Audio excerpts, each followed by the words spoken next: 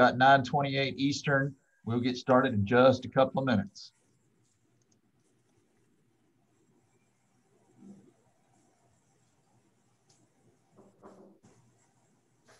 Good morning, Ms. Robertson.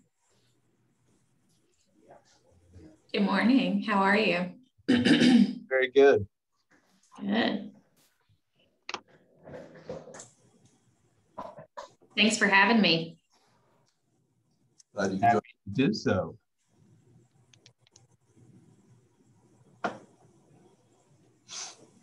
And uh, Savannah, just so you know, I mentioned to others, um, we're going to be recording this and it's also going to be live streamed on Facebook.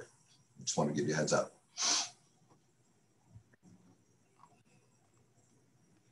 Well, just before we are uh, getting the, get into the meat of this and get started, just a little bonus for those that are here um, from recent analysis using um, the AFLEET tool, which is something Argonne has developed uh, over a number of years, using their online version and putting in TVA's current grid mix, or at least the graph on the 2020 grid mix, and using an average gasoline vehicle that gets 22 miles per gallon. Uh, AFLEET says it would be like a 78% reduction in greenhouse gas emissions if you move from driving that gasoline car to an electric vehicle in Tennessee and otherwise drive the new EV the same as you would have, same distance, etc., for the, the gasoline car you had before. So if you had not heard them, this is something that could be a completely different um, session where we could talk about things like this. But uh, yeah, it's uh, things have gotten pretty awesome if you're a Tennessean for your opportunity to to uh, drive electric and the kind of impact you can have in the transportation sector where it's needed most. And I'm just checking for a few other people being with us, and then we will get started in just a few minutes or a minute.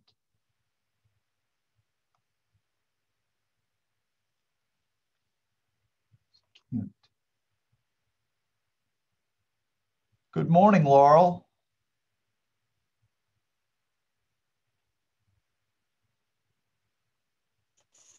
Good morning.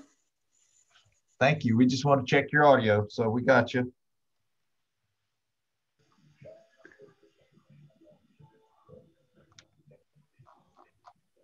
Good morning, Jonathan. Can you hear me?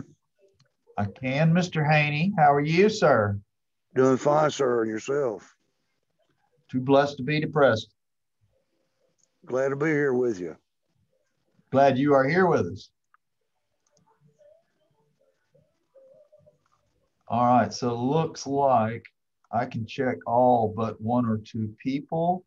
Um, Raven, if you would unmute just so we can make sure and check your audio. Hello. Good morning. Okay, great. All right. Um, I've got 931. We will go ahead and get started. Good morning, everybody. We very much appreciate your time today. Um, welcome to the first annual Drive Electric Tennessee Town Hall. Our intent with the, the town hall today is to basically give you an opportunity to hear about a lot of different things that are going on um, in Tennessee with regard to driving electric and transportation electrification what you're going to see is many short updates that generally are in the one to three minutes. So this is going to go pretty fast. What we have is we have it organized into three sessions. So each session will have a collection of presentations, and then there will be a Q&A period at the end. Those are sometimes they're 10 minutes, sometimes they're 20 minutes. Um, we'll certainly feed off you guys and answer questions as much as we can up to that time. If we don't have very many questions, we'll go ahead and continue with the next session. Our intent is to be less than two hours uh, with this town hall. But again, as the first annual, the hope is to use this as just one tool in our toolkit to each year, maybe in summertime like now, to have a similar town hall and just talk about different things that are going on in the state and give people a flavor of the wide variety of things that are going on here. We will be monitoring the chat um, and also uh, muting folks if, if somebody perchance gets a, a call and doesn't realize they're they're on the on the phone with all of us, um, we will take care of muting you. Um, Susan Fusaro, who is on our staff, is going to be helping all our presenters as you have um, you know two or three minutes, and she's just going to say the word time when we get to the end of your time. Uh, Daniel Sixay in our office is live streaming this on Facebook and this is being recorded. So with that, um, I think we will go ahead and go to um, the first set of introductions, Sarah. And uh, I believe, uh, yeah, just quickly so everybody can see, this is the first of the three sessions and it's kind of the DET overview plus um, a few other things. And it goes all the way from just explaining briefly what Drive Electric Tennessee is, if you're new to, to what we're doing here in Tennessee, talking about various aspects and things that are going on, including our working groups, uh, and then ending up with some information about a preferred dealer program and an example of some pretty darn incredible EV communications in Tennessee. But up first is Alexa Wojtek. Thank you, Jonathan. Um, hi, everyone. I'm Alexa Wojtek. I'm an Energy Programs Administrator in the Tennessee Department of Environment and Conservation's Office of Energy Programs, or the State Energy Office for Tennessee. I'm also a Clean Cities Coordinator for the Middle West Tennessee Clean Fuels Coalition, um, which is the sister coalition to East Tennessee Clean Fuels. Um, so here on this slide, you can see our Drive Electric Tennessee Executive Committee, as well as some of the key staff on the right-hand side that contribute to Drive Electric Tennessee.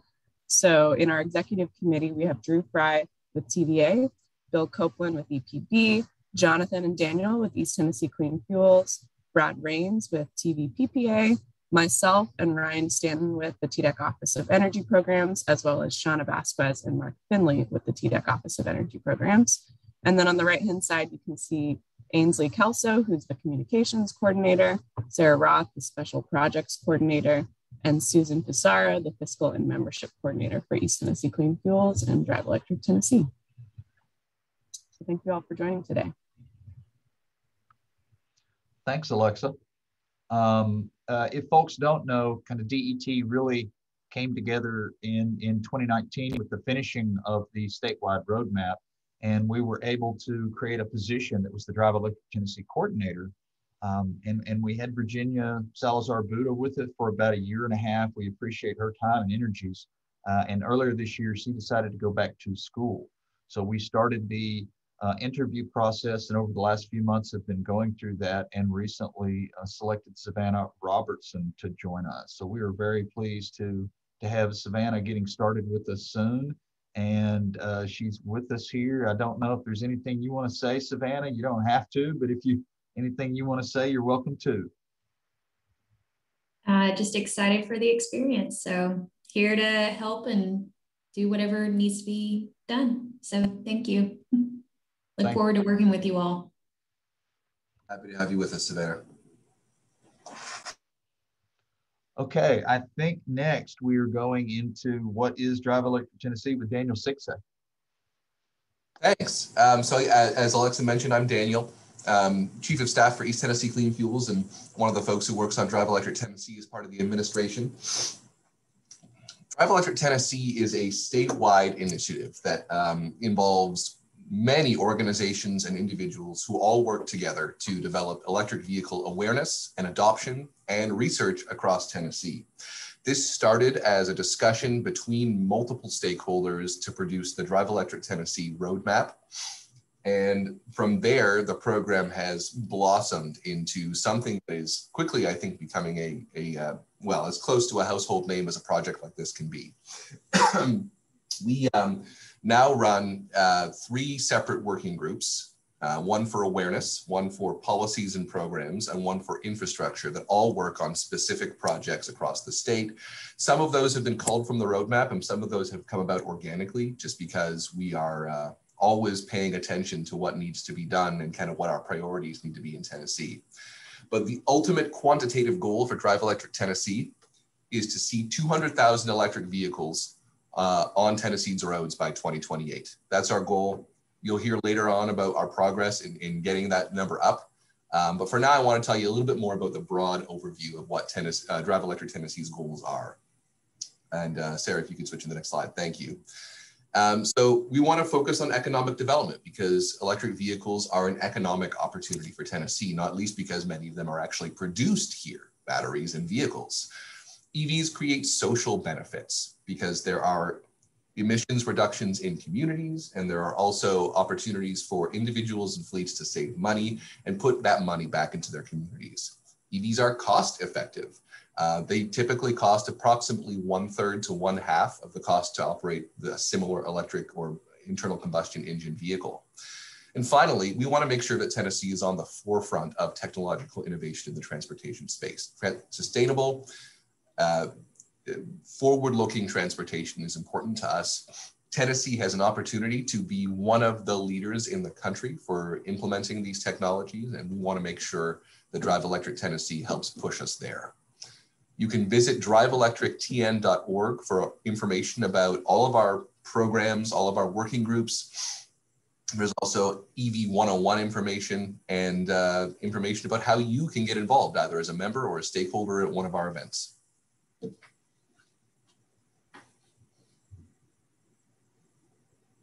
So Shauna, um, are you with us in connection? Yes. Hi, Jonathan. Sorry I can't appear on camera today, but this is Shauna Vasquez with the TDEC Office of Energy Programs.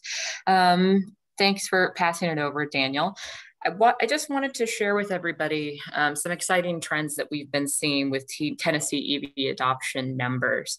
Uh, most recently, as of June 30th, 2021, we saw uh, growth in EV registration numbers to 13,811 vehicles currently registered in Tennessee that are either BEVs or PHEVs. As Daniel had said, the goal of Drive Electric Tennessee is to increase electric vehicle adoption to 200,000 vehicles by 2028. Now, that does seem uh, like a pretty lofty goal, um, but we know that those numbers for EV adoption are continuing to increase, particularly as new models are coming available on the market, including those that are going to be or are currently manufactured in Tennessee, which would include, uh, you know, the Nissan Leaf out of Smyrna, as well as new offerings from Chattanooga, Volkswagen with the ID4 all-electric vehicle, and um, oncoming vehicles going to be produced at the GM Spring Hill plant um, for um, uh, Cadillac. So I just wanted to point out, um, although the growth is, is slow and steady, we are seeing growth. We continue to see growth even during the COVID-19 pandemic. Um, and we hope are hopeful that we'll be able to meet our 2028 goals. I'll leave it off there, Jonathan. Thank you, Sean. Um, I think, Sarah, you're going to follow up with a little bit more discussion on some of those numbers. Yeah, so these are just a couple more um, graphs kind of showing more of the, the makes um, that are currently available in Tennessee. I don't think it would surprise pretty much anyone um, that there are a lot of Teslas, but we always kind of, the number that gets thrown around is that around 70% of the um, EV market is Tesla's currently, and it's actually lower than that in Tennessee. It's only hovering around 40%. Um, and some of the OEMs, such as Nissan and Chevrolet, that have um, plants and things in Tennessee, are increasing in numbers, which is always good to see um, EVs close to home and also have some more cost effective models that are um, increasing in popularity, in addition to Tesla's obviously leading the pack. Um, so like I'll give you a second just to kind of look at these. We cut it off to just the top OEMs. Um, and I think Nissan and Chevrolet are going to continue to really increase in popularity over the next few years and help us push us push us towards the the 2028 goal. And then we also expect to see VW ramp up. There's just some recent graphs that have also shown growth in VW. We're just not quite seeing that here yet. Mm-hmm. And these numbers will um, soon be available on driveelectrictennessee.org, and we'll continue to update them as new numbers come out.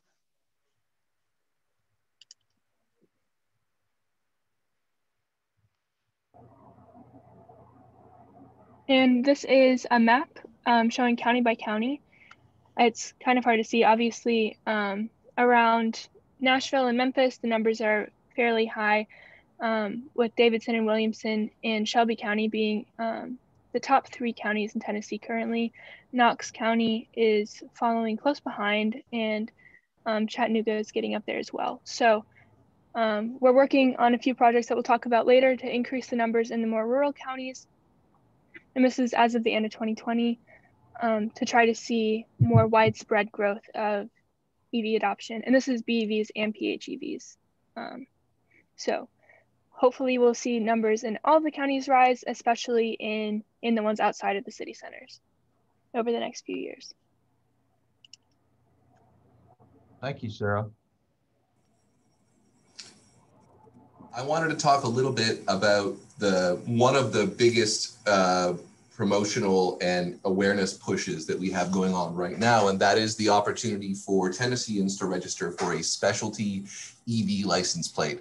This has been a project in the planning for over a year now. We've gone through multiple revisions and designs for our license plate. We've arrived through much discussion with many of our stakeholders and working group members at our final design. Uh, as of the end of May, we had uh, legislation passed to allow us to start introducing this license plate and collect registrations. And then we uh, were fortunate enough to have the opportunity from uh, one of our, our major stakeholders and, and fiscal supporters, uh, TVA, to be able to provide free specialty plate registration to the first 1,000 registrants for the first year.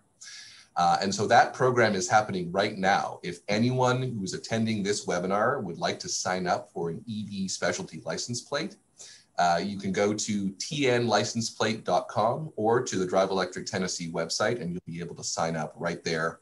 There is no cost attached for the first year of registration for the first 1,000 applicants.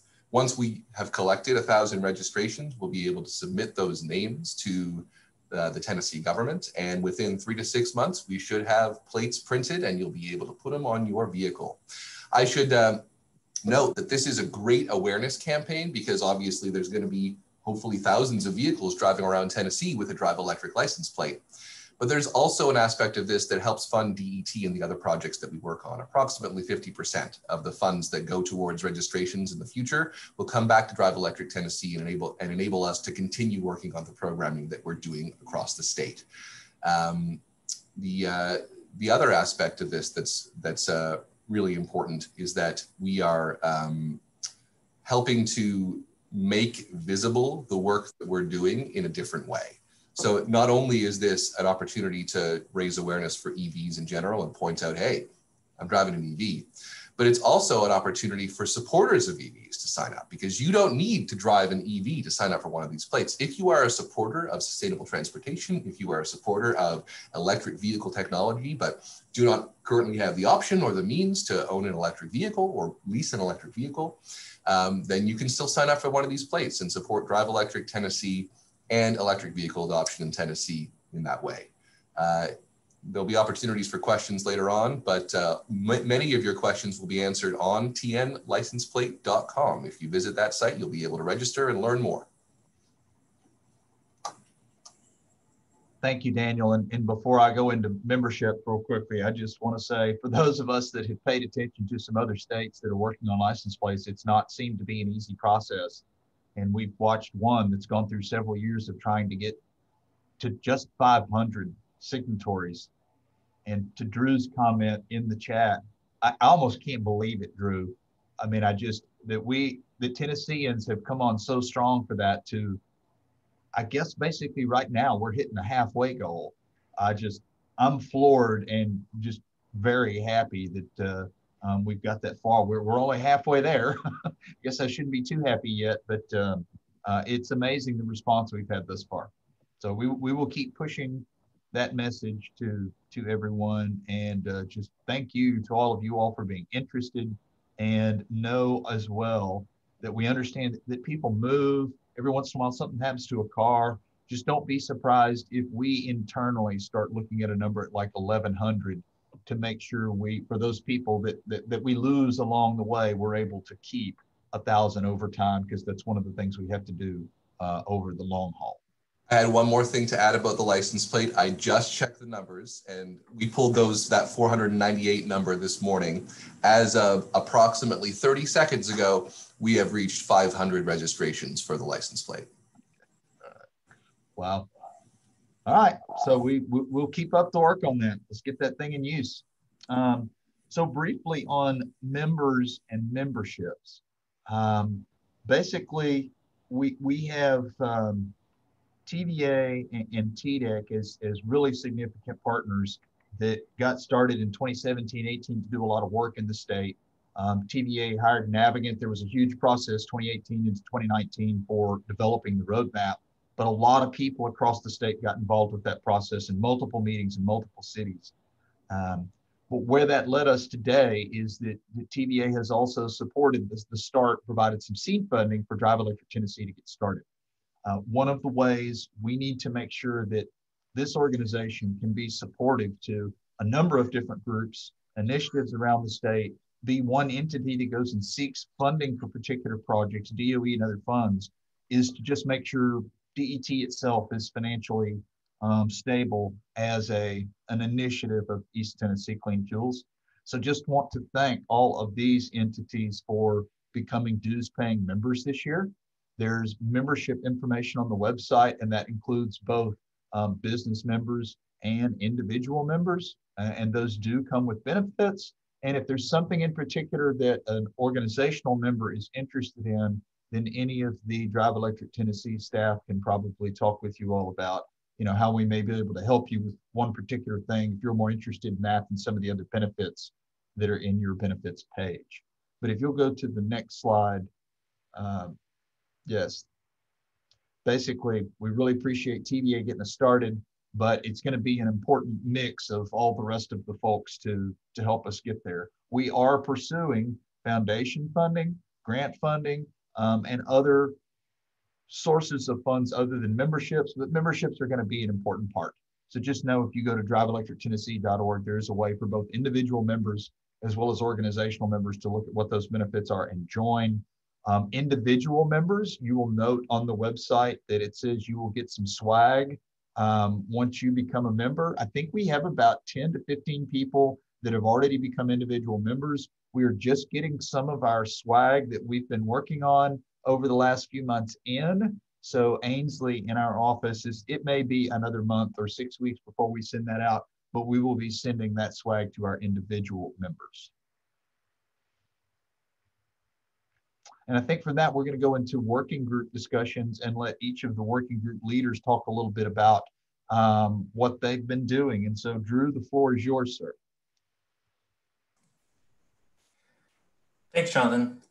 I'm just going to give a little update on um, the infrastructure working group. And so, uh, for those who have not been a part of the group uh, for over the last year or so, the Infrastructure Opportunity Working Group it was actually started back in May of 2020, so basically just a year old. Uh, and this working group provides an, an environment uh, where we encourage collaboration, networking opportunities, and it's just a place where we can discuss, you know, high level EV charging infrastructure activities and projects. Uh, we meet uh, monthly. In fact, I think we meet tomorrow. Um, but each meeting, we typically have a member of the group or a special guest come and talk about their company um, and infrastructure projects that they might be working on right now to build uh, chargers out in, in uh, Tennessee and in the Southeast in general. Uh, and the goal of our group is to develop charging infrastructure that enables Tennesseans to drive and charge their EV in their daily lives. So this is, you know, home charging, workplace charging, public charging opportunities. Uh, but we also include conversations about giving access to electric public transit and other kind of modes of transportation that um, can be electric. We have three main focal points. We, we look at infrastructure coordination and planning. So, you know, if something's going on and multiple people are working on infrastructure projects, we don't want to duplicate and, you know, uh, when money could be spent otherwhere, other places. And we look at infrastructure build out where we can. And we look at standards and maintenance. You know, are charging stations being maintained? Should there be recommendations? Uh, do things need to be fixed? Stuff like that. Uh, beyond just our meetings this year, we also worked with the Atlas Public Policy Group to draft a site host guide. We can share this guide with potential charging sites um, that might be interested in installing EV charging infrastructure. Uh, it has, you know, frequently asked questions like how much does it cost to install a charging station? You know, what can I can I charge people for it? Things like that. We have 23 members on our group. Uh, we have seven utility company members like TVA, uh, Nashville Electric Service, KUB, Knoxville Utility Board, BrightRidge and Johnson City, Electric Power Board of Chattanooga, and Memphis Light Gas and Water. We also have Seven States Power Corporation, who works with local power companies installing charging infrastructure. We have state agencies like TDEC and TDOT, cities like the city of Knoxville, East Tennessee and Alabama Clean Fuels Coalitions, uh, Tennessee Tech University. And we have lots of engagement from industry peers such as Nissan, Earth Rides, EVgo, Gilbarco, uh, Cape Electric, and many others. So we're um, excited about the work that we're going to be working on, trying to encourage more EV charging infrastructure because we know that is super important for folks who are driving EVs and folks who are considering to buy EVs. Time. Thank you, Drew. Thank you. Thanks, Drew. Thanks, Jonathan. Um, myself and Shauna Vasquez from TDEC Office of Energy Programs are the co-chairs for the Awareness Working Group, and we work with a fantastic team. Um, as diverse as the list that Drew, Drew had mentioned as well, we have local um, power company representatives, EVSE representatives, EV drivers and advocates of all kinds. And we've been working on multiple projects in the past year to uh, boost awareness of uh, electric vehicles in Tennessee. Obviously, I've already talked about the license plate, but I'll plug that URL one more time, tnlicenseplate.com to register. But we've been working on a lot of stuff. Um, our, our digital presence for Drive Electric Tennessee has grown rapidly. We have we're approaching a thousand members of our DET discussion group on Facebook, and that's discussion for all things electric vehicles that are relevant to Tennessee. Um, our our driveelectrictennessee.org website is now currently seeing approximately 2,000 vis visitors per month, and so those efforts are going really well. Um, we've also been working on a uh, dealership education program, and Shauna's uh, task force within uh, within the awareness working group has been working on developing out a program for helping reaching out to dealers and making sure that they have the resources they need to be able to effectively sell and explain the details about electric vehicles. We have developed uh, guides for creating DET chapters, and you'll hear a little bit about that um, a little bit about that later. And uh, in addition to that, guides for running ride and drives. There's also been a lot of work done in developing chapters themselves, and Jonathan can give an update about that later. Uh, not to mention that we've developed uh, signage guidance for uh, in city and at stations for marking out things like making sure that EV uh, charging charging stations are accessible to EVs and don't get quote unquote iced. Um, the other thing that we're working on that uh, you'll hear a little bit about later is our preferred program. We want to make sure that we know the dealers in Tennessee who are doing the great work of selling EVs effectively in Tennessee. And we want to push and promote them to make sure that consumers and other fleets and organizations who are looking to purchase EVs in Tennessee can go to dealers that are trusted and able to sell EVs effectively with the details and education that they need, that they need to do so.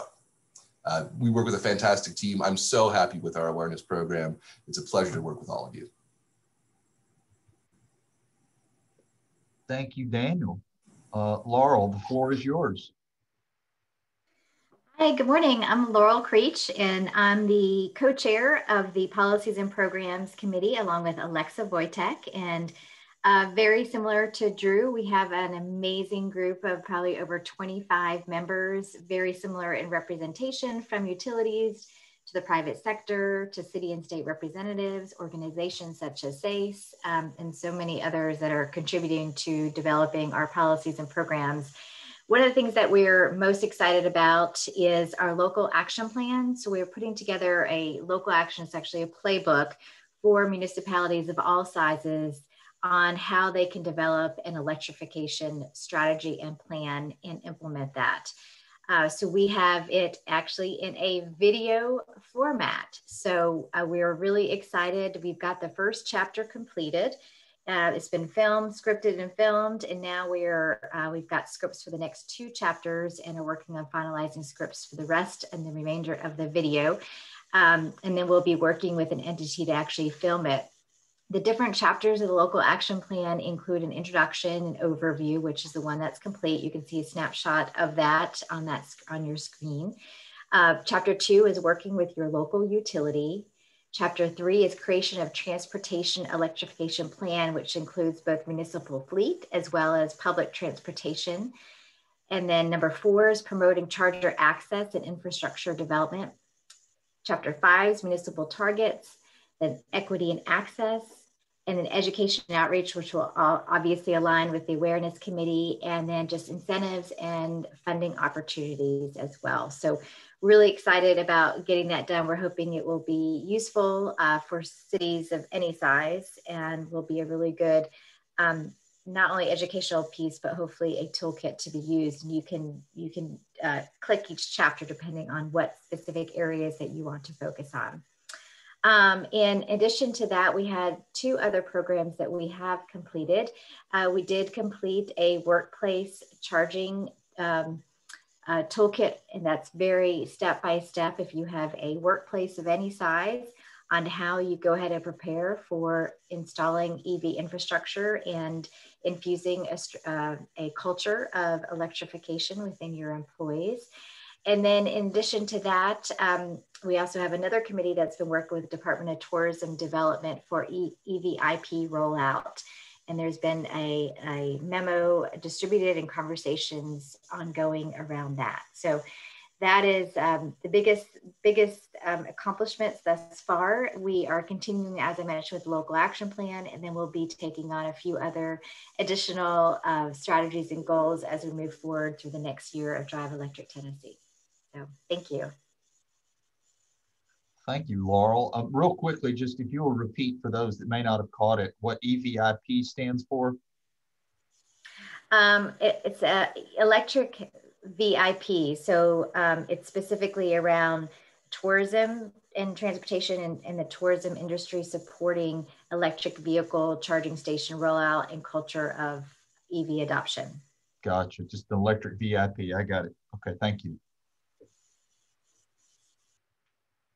All right, great. Um, so moving from working groups into a couple of final pieces before we are done with the first session. One of those is a preferred dealer program. Um, this came out of something I think the team wanted to work on, and we kind of know, at least in the US and probably everywhere on planet Earth, dealer education and, and having dealers helpful and not uh, turn folks that go to a dealership away from electric vehicle is a pretty critical piece of, of one of the things we need to work on. Um, through the Drive Electric USA program um, project, DOE funded project that we are a part of, there's 14 states sharing some ideas on this stuff. So we we are not quite done with fully rolling out the preferred dealer program, but we've got probably 80% of our pieces together. Some materials are left to be created and put on the website. But we want to both create something that can be information for dealers to learn how to become a preferred dealer. And we understand that they are busy, have a lot going on. So there's a, a small set of things to require and then a larger set of things that are um, um, opportunities and option optional things they can do. And then there'll be another piece that's consumer facing. If you live in Clarksville or Chattanooga or Bristol, and there are preferred dealers in your area, you'll be able to go to the Drive Electric Tennessee website to that section and look for those preferred dealers and find some contact information for who the lead person at that dealership is. So along the way, um, Ainsley recently was able to meet Josh Stansberry of Reeder Chevrolet, which is on the north side of Knoxville. And we were basically shocked Josh has been doing so much stuff with his staff and at the dealership that we wanted to give him a minute to talk a little bit about what uh, they've been doing. So, Josh, if you want, the floor is yours, sir. Okay, thanks, Jonathan. Um, I'm the uh, general sales manager here at Reeder Chevrolet. I'm a uh, partner. Um, my the the uh, the other partner we both drive uh, bolts we, we're trying to kind of lead the charge um, in the dealership and uh, get everybody accustomed to the vehicles the, i think the uh, biggest thing about the evs is they're they're coming soon much faster than the average customer expects and we definitely want to be a, a leader and, and be ready for them um, in 2020 we sold about 25 bolts uh, and we had basically the same strategy uh, to sell them as we did for the rest of our inventory. We stocked as many as, as GM would give us. Uh, we offered the biggest discounts around and uh, basically just tried to move them in volume. And, you know, even though it was that was the most in, in the state of Tennessee, it still seemed pretty low. Uh, so we, we started working on a, a, just a unique strategy for the EVs. Uh, so far this year, we've sold 37, so we've more than doubled our uh, our sales pace. And we uh, we did that by allocating some some money for Google. Um, everybody's digital nowadays. You start shopping from your phone, so we we spend money. You know, anybody that Google's anything about an EV within about a 200 mile radius, we make sure that our URL uh, pops up. Uh, we we started educating the sales employees. Um, I designated a bolt um, for basically uh, customers, employees to spend three days in. Uh, we call it our 72 hour test drive vehicle. Uh, they get to basically take it for three days, you know, run their, their daily commute and just see how it works for them. Um, a lot of my guys embraced the idea. You know, some of the guys, you know, they they hated to leave behind their cool car, cool truck. You know, everybody's everybody's vehicle is a personality uh, reflection, but once they got into it and got the vehicle, got familiar with the vehicle, it was amazing. You know, even even the big truck guys, you know how how much they enjoy driving these vehicles. You know, it's it's kind of like uh, getting to play with the latest iPhone. You know, there's just so much technology packed into them. Um, I, I, got everybody on board. You know, basically, I told my my sales force, hey, if you don't, you know, if you don't spend the time to learn the vehicle, you can't sell them. So, you know, that that pretty much got everybody on board. Um, another issue we had was was trying to get just the traditional um, gasoline customers, you know, just a little bit of an education on the on the thing the biggest question that we'd run into when a customer would uh, we'd, we'd you know show them an EV was you know how do I charge it? Um, so we, we, we decided we would take care of that problem. So we started throwing in the level two chargers with every um, EV cell. Um, I keep them in stock in my parts department. Uh, basically, when a customer goes through the uh, the finance department and they come out, they they take delivery of their new Bolt. They've got their uh, level two charger in the vehicle. Uh, they come with a level one portable. So all they've got to do really is get the uh, get the thing installed at their at their house, and and it's it's made a difference. Um, we also tried to get as many customers as possible in the uh, 72 hour test drive vehicle, just to you know just so they could see, you know, 250 miles. That's that's a pretty good you know pretty good range. You know, most most, most the average commute's 40 50 miles a day, so you know most people can make that work. Um, the uh, the chargers, you know, we negotiated a, a volume discount from our suppliers. Um, and when we were coming up with some strategies, you know, we wanted to utilize basically the we, what we feel is the biggest advantage we would have over uh, Tesla, and that's just having a physical dealership. Um, you know, if we do it right, we roll out the red carpet for the EV customers. You know, try to give them a five star experience. Um, we we you know we kind of have a leg up there. Uh, we converted an unused um, entrance and kind of an old um, Allstate lounge that we, we used to use for uh, selling insurance into our EV lounge. Uh, we, we, you know, cleaned it up, painted it, put artwork up. Uh, we've got water, coffee. Um, we use an office beside it to display the bolt accessories and as much information, EV information as we can. Uh, we've got flyers about the KUB $400 bill credit we hand out um, just literature, you know, any, any literature we can give to, uh, to customers that are buying or thinking about buying. Uh, we installed a DC fast charger outside of the lounge and we put eight level two chargers outside of the lounge. And we basically just invite um, all of our customers, any customer really to, you know, pull up, charge, um, enjoy the lounge and, and, you know, just visit, say hi. Um, our, our gas customers, we've always emailed out and gave them free, free five oil changes to try to get them back in the dealership. So uh, as soon as we started selling a lot of EVs, I had a customer say, Hey, I don't need oil changes. You know, what, what do I get? So we, at that point, we, we started throwing in lifetime tire rotations just to make sure we can get these customers back in the dealership. You know, we can keep a relationship and, and see them, you know, when it's time to, to sell them tires, you know, if they're here, they'll, they'll get Time. Um, our EV, you know, initiative is is is evolving. We've got a, uh, a, a mural that we use. We paint it up. It's fun. The salesmen use to to take pictures of customers when they sell when they buy their vehicle. We post it, but it's kind of a uh, gasoline. It's it's it's got you know cams, pistons, uh, exhaust. So it kind of feels doesn't feel right when we're taking pictures of our EV customers in front of it. So I've got another um, local artist that's working on an EV mural for us that'll kind of uh, finalize the uh, you know our little area. But uh, other than other than that, we we plan on doing some short commercials for our social. Um, just looking to you know any anything you guys can do to help. We we love the idea of the preferred dealer program. Um, that I think you know I think we can help each other there. Uh, we've got a really good facility, easy to easy to get to.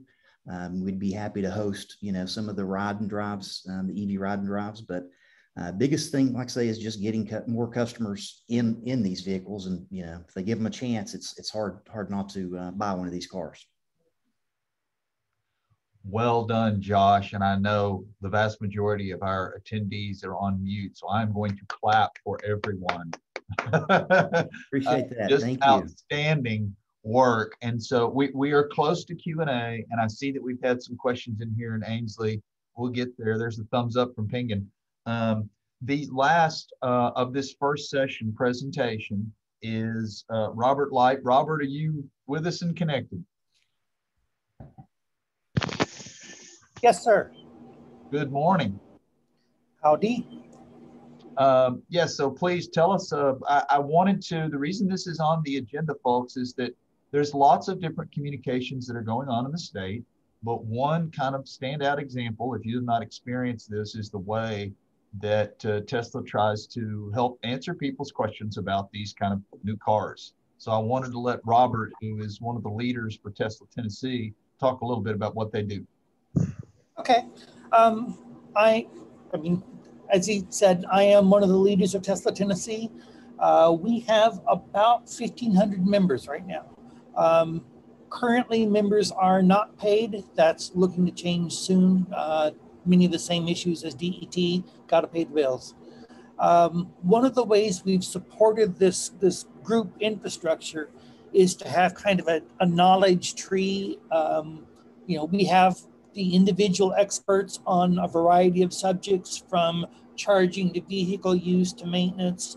Um, but we have, you know, co-chairs or vice presidents that we have, you know, I won't go with minions, but sub experts and everything.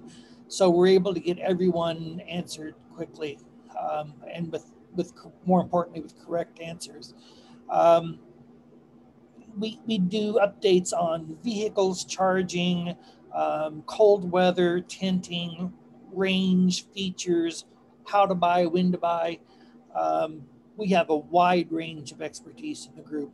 I forgot to start my timer, rats. Um, one of the ways we manage, I mean, if you're on a Facebook group of any size, you may have experienced that they're not always polite and pleasant to be around. One of the ways we manage this is with a fairly iron fist. Um, we have rules and we enforce them. Um, the rules are reasonable. Um, you know, they boil down to don't be a jerk. And we don't spend a lot of time processing you if you are a jerk. You're just out. Uh, we are, are believers in the paradox of intolerance. Um, if you act up, if you make the group less fun for others, you're gone. Um, one of the uptakes of this is we double our membership about, I mean, for the last several years, last couple years, we have doubled our membership every 12 months. Uh, that's how we have 1,500 now. Um, but even at that, we turn away 22% of our applicants. We just don't, you know, if you look like a spammer in Hyderabad, mm, you're probably not getting in the group. Uh, we just don't need trouble. Um, another way we manage a group that large is many people ask the same things. Everyone asks, how can I get my tires balanced? How, you know, who can install tinting? Uh, who can install my L2 charging? So we have a fairly extensive FAQ, frequently asked questions. Um, I think it's probably eight to 10 pages at this point that we encourage everyone to read upon joining the group. Um, you're not the first person to ask, can you recommend a charger in Nashville? So we have a list with linky links that sends you to many of the right places. Um, in short, once we get tired of answering the question, it goes into the FAQ. Um, another way we manage the physical presence of the group is we have subgroups. Um, we know that we can pick a good restaurant or a good parking lot that's socially responsible in Nashville, but we need help organizing things in Knoxville or Chattanooga. So we have regional, excuse me, regional lieutenants that organize on the ground tasks while headquarters we manage, you know, 501c7 certification papers and insurance and that kind of thing. Um, we have a high degree of content that is created by volunteers. Um, as perspective, Facebook considers a group successful if they have a 40% seven day active. Um, this is users actually reading or, or interacting with something in a group. We have a 91% seven day active. Um, of our 1,500 members, 1,360 um, touched the group in the last seven days. Um, although our name is Tesla Tennessee, Tesla Owners Club of Tennessee, and we do work with Tesla Corporate, um, we're all pretty open to the fact that, you know, we're kind of EV first and Tesla second. Um, we actually have an entry membership for the Tesla Curious owners. Uh, many of the issues we, we take on, policy, et cetera, education, are the same whether you're in an ID4, a BMW, a Volt, etc. So if you're, you know, ownership of a Tesla is not actually required to come hang with us. If you have questions on charging, the buttons may be a little different in your ID4, but we can probably help. Um, so come on in. Um, I'm. Ha! I was about to say I'm done anyway. So there.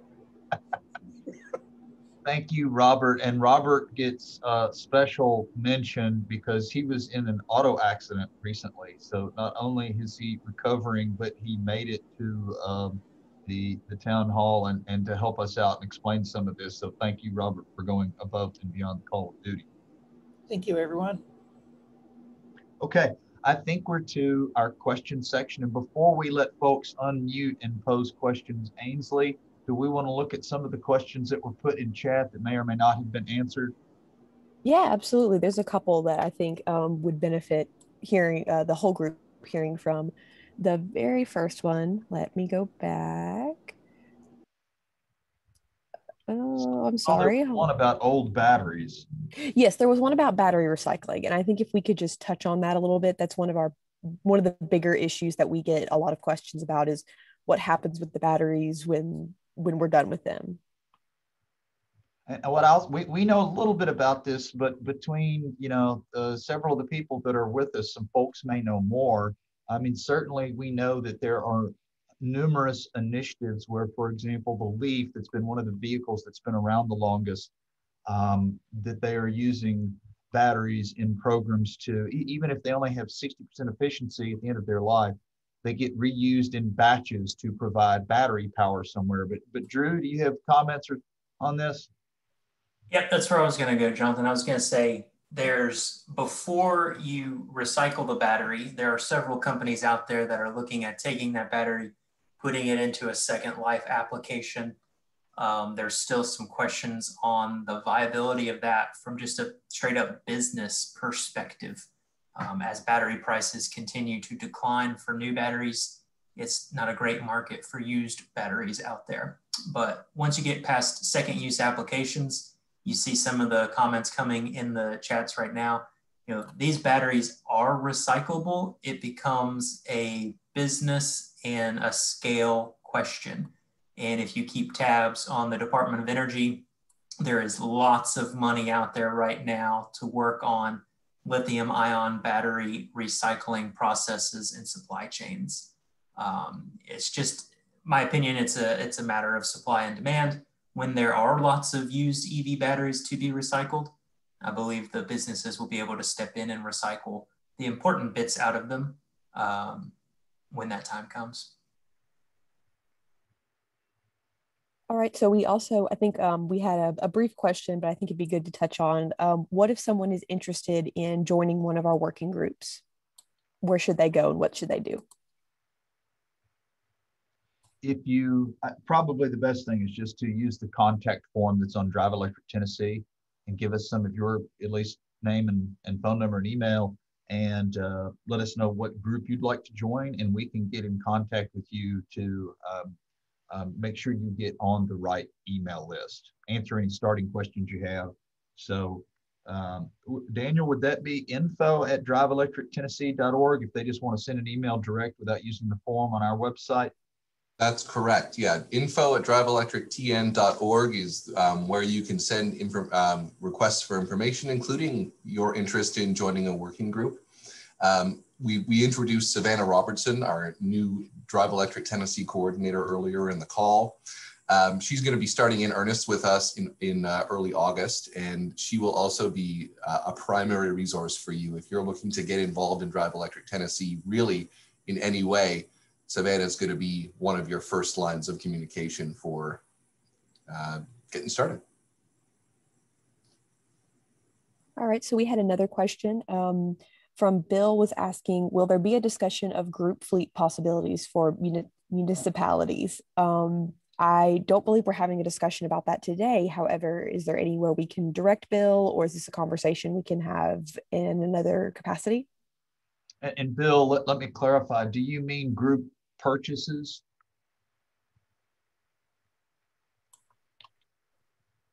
Let's just say yes. Let's say that's maybe what Bill was okay. asking. This this is Alexa. I can quickly chime in there. Um, I will note that there is a Tennessee statute that prohibits um, Tennessee municipalities from purchasing off of kind of group buys that are external to Tennessee, such as the ones that Sourcewell and Fleets of the Future and those sorts of groups have created. So, with, with regard to vehicles specifically. So, Tennessee local governments are not able to participate in those bulk procurements, but uh, we have confirmed that uh, Tennessee local governments could, in theory, create their own um, kind of bulk procurement if it was like one Tennessee municipality and another combining together their, their bulk procurement in order to try and drive that economy of scale. So that is something can, that can be done within Tennessee. Um, but as far as I know, I don't know of Tennessee municipalities that have leveraged that to date. Laura, I don't know if you have any additional comments on that topic. I would just add that we need to spend a little bit more time and work on this. And at least probably one of the things we need to do is figure out is it the sustainability officer, the fleet manager, the purchasing agent, who might be the point person from a different city that we could involve in a group discussion because certainly one of the things we'd like to see that might yield some savings would be like group buys of leafs bolts etc um, so I, I, think that is something bill we should probably work on a little bit more. It started in some kind of initiatives and, and small projects we were working on but not a, a statewide thing. So i'm making a note to see if in the next maybe by September, we can try to see if we can pull together at least a session for municipalities to discuss that. All right, so we have um, a question that was asked and answered in the chat, but it's again, I think something that would benefit the whole group. Um, what is involved with installing a level two charger at your home? For the sake of simplicity, I would just say it's it's kind of like installing a dryer, 220, 240 volt. Um, you're going to need a licensed electrician to put that in. You're going to have to have the necessary slot in your uh, uh, box to be able to use a 30, 40, 50, 60 amp circuit, uh, connect to it. But yeah, you need a licensed electrician to be able to do that installation. Um, and I, there's lots of discussions on Facebook about that. You can get information there, even in different groups there's discussions about what electricians in different communities have done some of those installs. And so people will make comments about who did theirs in Memphis or Nashville or, or Knoxville or elsewhere. And we, we can spend more time going into that, but for the sake of time, let's go to the next question, Ainsley. Okay, these are two questions that are um, I can answer very briefly. Um, it was, is there an email list of DET members as well as will today's presentation be posted to on the DET website? Um, I'll go ahead and answer both of those. Um, yes, we will try to have this presentation posted either on the DET website or to YouTube, and then we will link it to the DET website um, in a timely manner as soon as we possibly can. As well as, yes, we do have an email list. Um, it is not a publicly available email list if that's what you're asking. However, if you would like to join that email list um, and receive our biweekly newsletter, as well as get other information, um, I believe, is there a contact form on the DET website for that? Or would I need to, Daniel, you may have a better answer for that one. Yeah, if you visit driveelectrictn.org, there are multiple places on uh, on the site where you'll be able to sign up for Drive Electric Tennessee news and email updates. All right, and I'm not seeing any other questions in the chat. Would anyone like to turn on their microphone and ask any uh, any other quick questions? Well, I, I have one quick one just to make sure. Drew, I think you responded and the the document, the site host guide's not finished. It's still a couple of weeks or months away. We'll have to go back and figure out if we put a final, final version on it, but it is substantially done and we'll get it on the website when it is in its final version. Uh, and then we can also send it out if people want to see it. Thank you. Okay, anybody else have a question before we move to the next session? You are welcome to unmute and ask your question if you would like.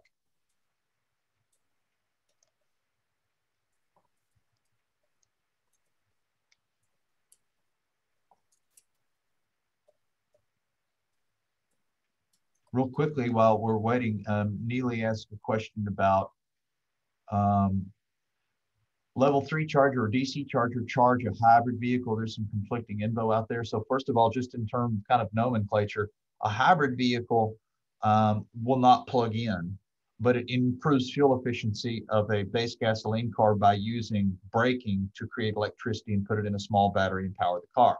Once you get past a hybrid, you end up with the plug-in hybrid, uh, which has both, but also plugs in to fill the battery before you start driving.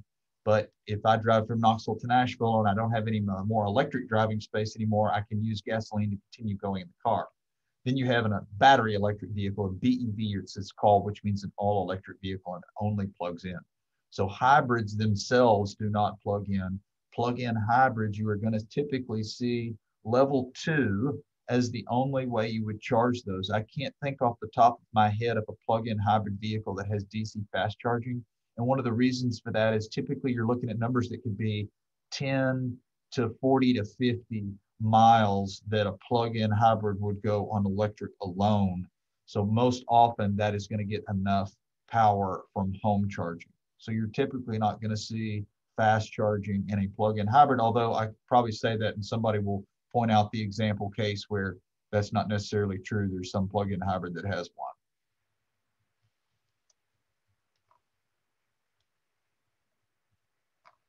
Okay, so um, I think we've answered all those questions. What we're going to do is we're going to transition to our next session, and we're doing pretty good on time. Um, Daniel Sixay is going to become the moderator for the panel discussion, and then our last session, which is on projects and some example fleets. I do want to real quickly just make sure that Travis, Kent, and Becky, can we hear you guys? Will you unmute and say hello, please? Hello. Got you, Travis. Hello. Hello, this is Kent Minow. Got you, Kent. Becky's here. Can you hear me? Yes, ma'am. Can't hear you. Thank you very much. Excellent. Okay, um, I will pass the torch to you, Mr. Sixay.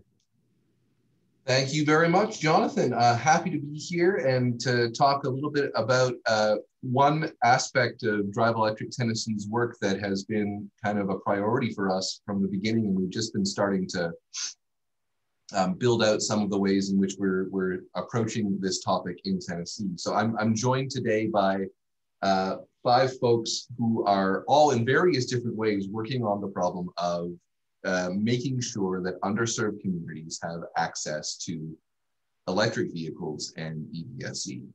Um, Tennessee is a, is a diverse state. Um, many different uh, economic diversities, cultural diversities, location-based diversities. So there is no good one size fits all option for EVs. We need to do work to make sure that everyone can enjoy the environmental, the fiscal, and the health benefits of electric vehicles because everyone deserves them. Um, so I'm joined, and I'd, I'd, I'd like to invite each of the panelists today to spend a little bit of time, a minute or two, just talking a little bit about some of the ways in which they're working on this topic. Uh, and I'd like to start with Travis Reed from TVA, who's going to be talking about the muddy problem. Thanks, Daniel. Um, go to the next slide.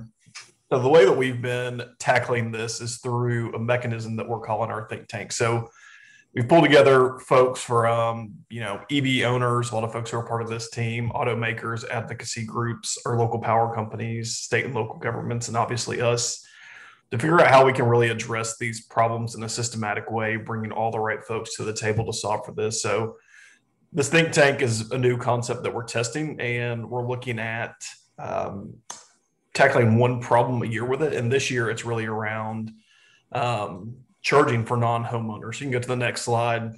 When you think about Tennessee as a whole, uh, 40% of the residents here rent. So they don't own the house, they don't have the access to be able to install a charger there. So this is something that we knew was going to be a real issue. So before we kicked off the think tank this year, all the members went out and interviewed different folks in their networks and their communities that they uh, live in and figured out, you know, what is the barriers that they're currently facing? What is their personal experience? And so what we found is that um, renters, uh, multi-dwelling units um, don't currently have access to charging. And this is because the upfront cost of purchasing an EV feels daunting and they do not have control over their access to a charger at home. So we're looking to give them potential, these potential drivers exposure to an EV to see how it could fit into their life permanently.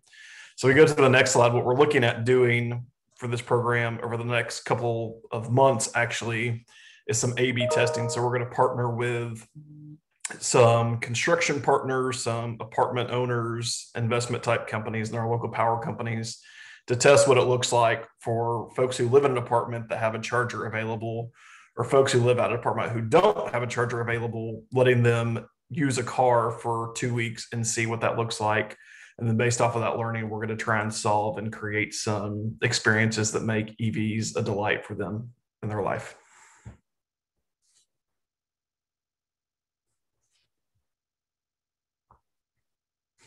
Thank you, Travis. Uh, next on our panel is Kent Minault, who uh, works with the Sierra Club and the Harvey Broome Group in, uh, in Knoxville. Uh, and Kent is uh, here to talk a little bit about rural EV ecosystems. Kent, thanks for joining us. Yeah, sure thing, uh, Daniel. Nice to be here. Um, well, th this will be fairly short. the Tennessee chapter of the Sierra Club has a state transportation group, and and they brought me into chairing that. And we've done a few things that are interesting. One of the inspirations we had was visiting Jonesboro, uh, Tennessee, where the first electric school bus in the state arrived a couple of months ago. And uh, I noticed by looking at the panelists that uh, gave little speeches there while they were cutting the ribbon for the bus, uh, there was the local power company BrightRidge, there was TVA, a big utility, and there was Daniel Salyers, David Sawyers from TDEC.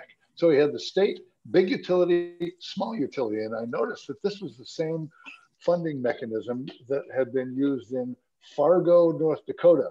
If you've ever seen the movie Fargo, uh, you might be reassured to know that Fargo has electric school buses now, and they use the same funding mechanism, the small utility, the big utility, and the state to help out.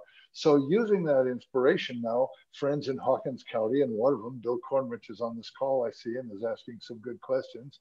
Um, and another in Clarksville, uh, we're going about educating uh, local uh, decision makers in uh, city councils and school boards and county commissions about electric vehicles and how they can save people money. Because we noticed in Jonesboro that uh, many of the people who spoke uh, were touted their conservative credentials and uh, they really like saving the taxpayers money. And so we've got a bunch of presentations showing how electric vehicles and municipal fleets things like police cars and school buses, transit buses, and just the ordinary vehicles like cars and pickup trucks that people drive around in can save a ton of money for cash-strapped uh, local um, uh, uh, counties and cities. And so that's basically it. We're in the middle of it right now, so we don't have any big successes to report, but we're meeting uh, with the uh, Clarksville City Council on August 5th. And we'll let you know the results of that when we find them when we find out. Thanks a lot. Thanks, Ken. Uh, the next member of our or uh, contributor to our panel is uh, Marty Young. Marty works at Roane State Community College. He is an EV driver and an EV advocate, um, and and one of the best uh, advocates for purchasing and the availability of used EVs that I have ever met. And Marty is going to talk to us today about the used EV opportunity. Sure. Good morning. Good morning. Well, first thing, I drive a used EV. Uh, this is my 2016 Chevy Volt. So, little plug there for Chevy, Josh. That's for you. Uh, and this this car is fantastic. I love it. It's the best car I've ever owned. Uh, but the first thing, my first message really to people is there are used EVs. Uh, it's amazing how many folks I encounter at EV ride and drives that aren't aware of the fact that you can buy a used one. Uh, so that's the first message. And so along that lines, one of the things that we did with the Knoxville Electric Vehicle Association was we created what you're looking at right here, a used EV shopper's guide. Uh, this is a one-page document. What you're seeing is the front and back here simultaneously. And we've got it divided into four sections. We have the under 10,000 uh, and then under 20,000 under 30,000 and then where to buy. Uh, this obviously is not an exhaustive guide. Uh, what we did was we tried to focus on the vehicles that are really uh, most readily available, especially in Tennessee. Uh, and also we chose ones that could be serviced locally, uh, especially in the Knoxville area, since you know we're the Knoxville EV group. So this is why, for example, you don't see the Hyundai and Kia uh, EVs on there because the closest service center for those vehicles is Atlanta. Um, but uh, yeah, and so it's just, it's been really a lot of fun to share this information with folks uh, that there are these vehicles out there. Uh, they are, you know, relatively affordable. It depends on sort of what your price range is. Uh, we get lots of questions about used EVs regarding battery degradation and things like that. And we can talk more about that in the Q&A if you want. Uh, in the where to buy section, this is something that a lot of people uh, have questions about. Where can you get them? I bought mine at CarMax. Uh, like I said, mine's a 2016. I bought it in 2019 at CarMax. I have a funny story about that buying experience that I can share later. Um, but uh, anyway, they are out there, they're available, and this is a message that we're trying to spread to people. Thank you, Marty. Thanks for the work that you do as well. Uh, the next to our panel is uh, Becky Williamson, who works with Memphis Light Gas and Water. Uh, Becky is going to talk to us today about EV adoption in a large, diverse city. Becky, thanks for joining Good us. Good morning, everybody. Um, thank you for making a slide for me. I did not send you one, so you did a great, great job. Um, so as of June the 30th, um, from the, the TDEC Tennessee Department of Revenue numbers, there are 1,455 electric vehicles registered in Shelby County, uh, which is about a 23% jump from the end of last year. So we're definitely seeing customers starting to buy more and more of these vehicles. Um, there are approximately 120 level two charging stations in Shelby County, which is MLGW service territory. And about 13 of those are Tesla superchargers or other DC fast chargers. So we're, we're in the early stages of adoption, as you can imagine, which sort of makes our entire market underserved because it's new. So I'm going to tell you the five things that Memphis Light Gas and Water has been working on in the EV space. Uh, we spent the last two years getting plugged in with Drive Electric Tennessee. We were part of the group that helped put together the DET roadmap. Um, and we've just been working with partners and committees to look at consumer awareness and um, charging infrastructure availability as part of our research because MLGW is in the, the early stages of developing a sustainability plan as well. So EVs will fit in there both for internal operations as well as our customers. Second, we've started discussions with some major fleet owners to understand their EV adoption plans because as you put EVs into your fleet, you now need charging infrastructure, which means it's a new electric load and we have to coordinate that growth of the system to serve that new load. Um, you'll hear from MATA in the next panel and they're one of the customers we've been talking with because they have some nice aggressive plans. Um, we've been strategizing how to encourage uh, developers to include EV charging in both multifamily developments as well as commercial developments.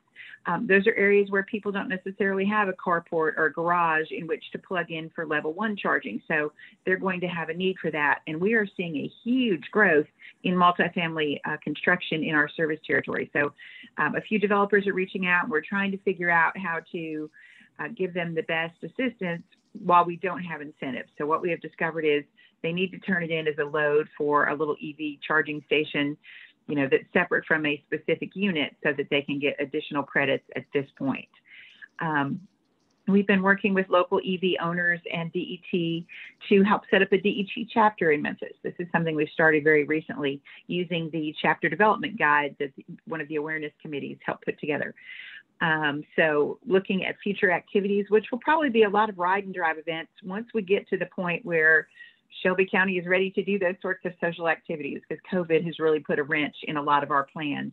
But um, as some of the other speakers have mentioned, as Marty just mentioned, it's going to be very important to talk about used EVs because not everybody in Shelby County that you want to talk to is going to be able to go out and spend 30, 40, 50, $80,000 on a new car. So talking about the availability of those used cars somebody else has, has enjoyed them for the first few miles, they've taken the depreciation hit, and now they're available for another consumer to purchase. Um, and there are a lot of them out there. I did a little Googling around just to see myself. So there's a lot of affordable EVs out there at very affordable prices. And lastly, uh, we've put together a Zoom session that some of the people on today's panel will be speaking on uh, called Plugging into Electric Vehicles. And it's going to occur on August the 26th to educate our customers about EV technology, about vehicle features, charging infrastructure, and just all sorts of things that they need to know because they're inquisitive or they're they're contemplating a purchase. Um, our hope is that many of those attendees will want to share their contact information. So we have sort of a distribution list for future communications, and some of those people might also want to join the chapter or attend some events. So if any of you guys are interested in that, um, that Zoom session on the 26th of August, you can find it on Eventbrite and register that way.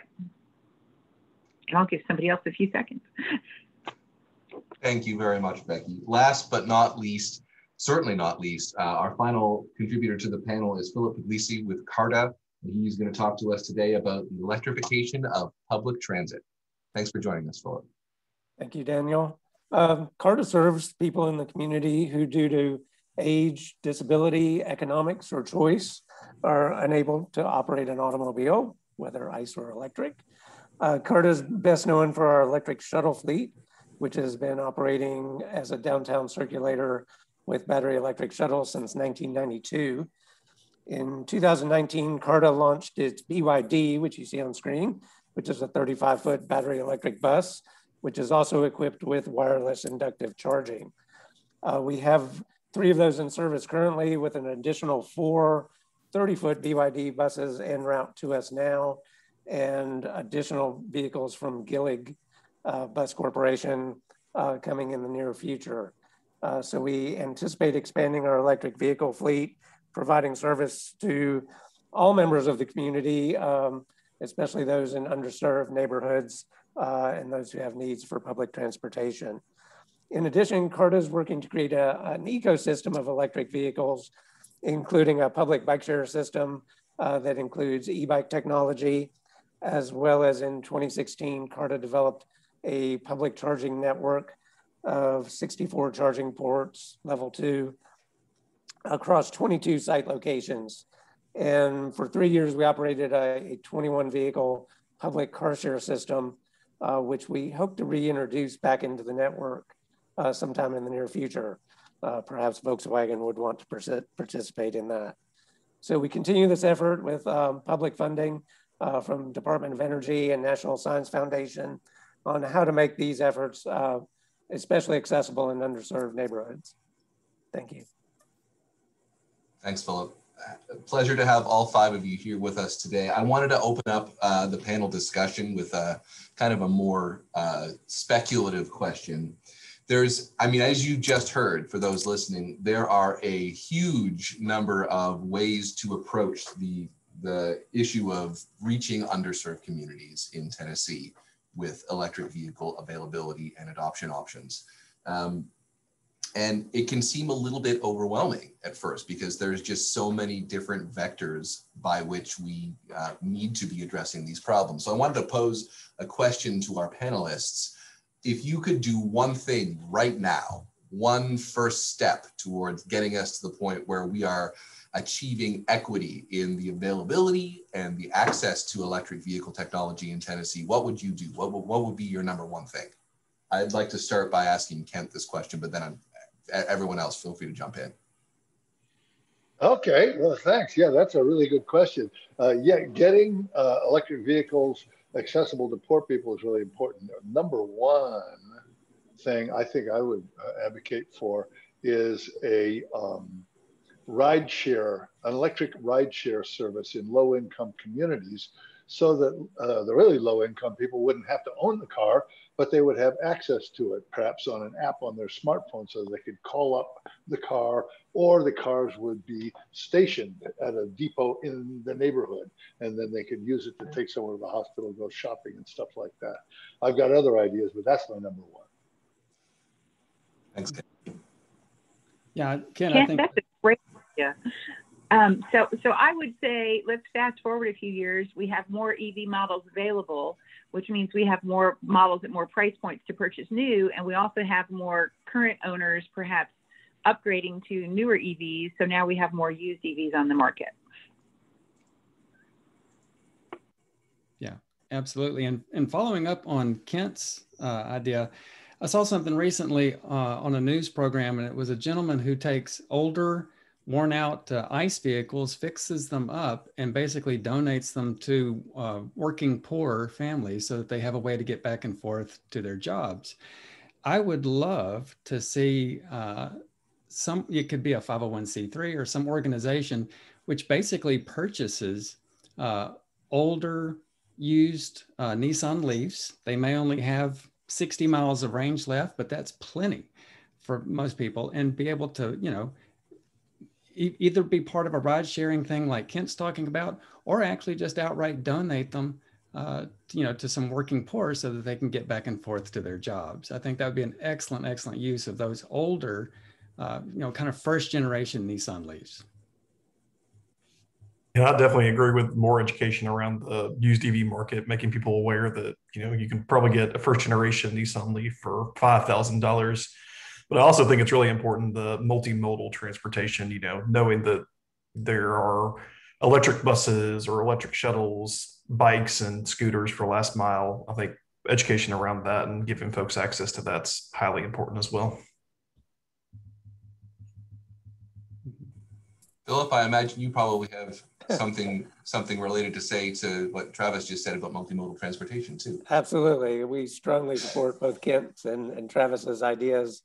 Uh, we're working with the Chattanooga Department of Transportation with a, a Tennessee multimodal access grant to further develop um, neighborhood multimodal uh, mobility hubs that include electric bike share, uh, bus stops, of course, and the future potential to add things such as um, you know, electric vehicle charging, and ideally, you know, the, the shared mobility solution, giving people the opportunity to choose the right transportation tool for the right trip, whether that be walking, biking, transit, or your own automobile.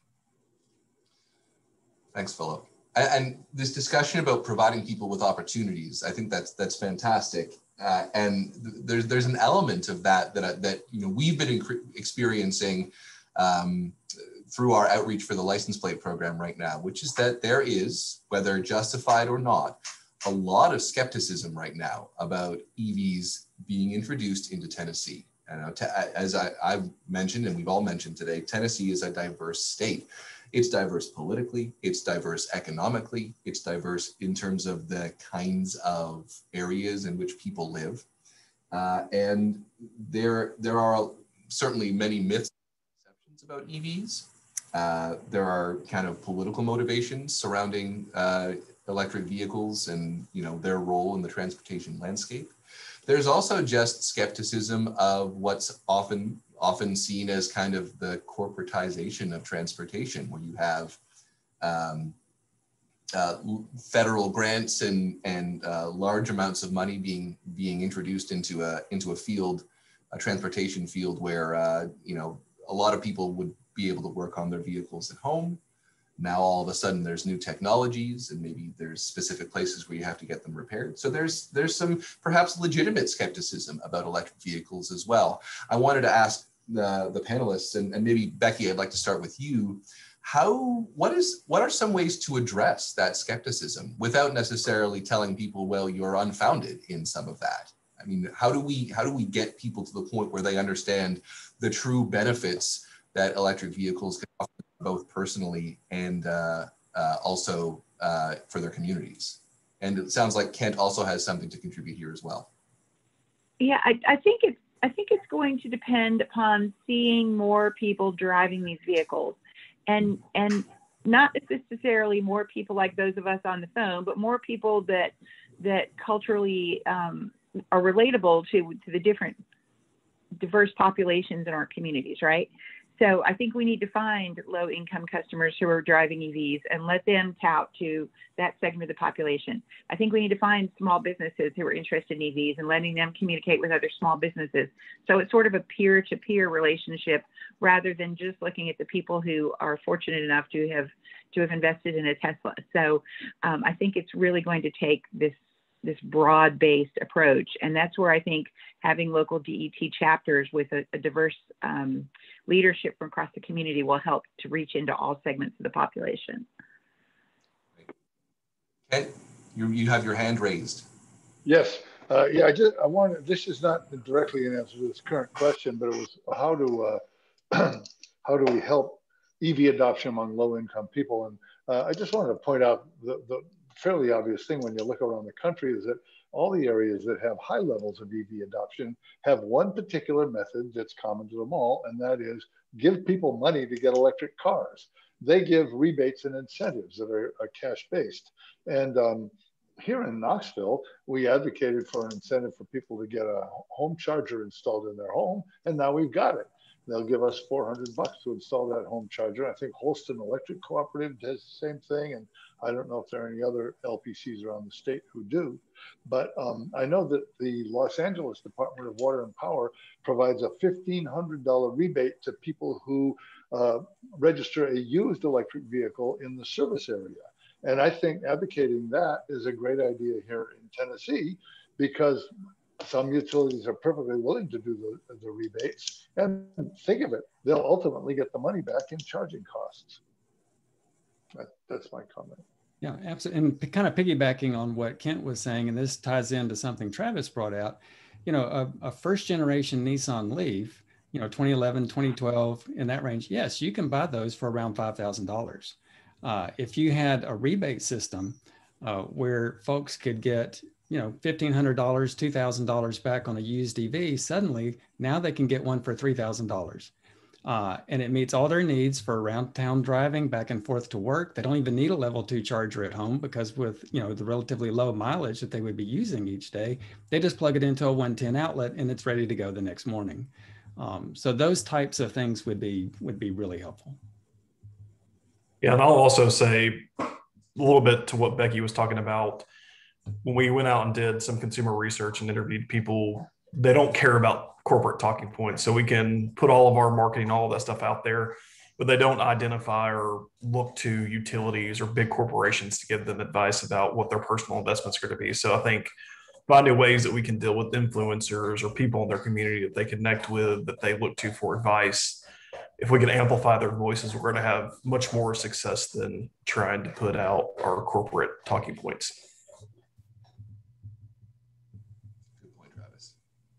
I think we've heard everyone um, everyone's contributions to that question except uh, Philip.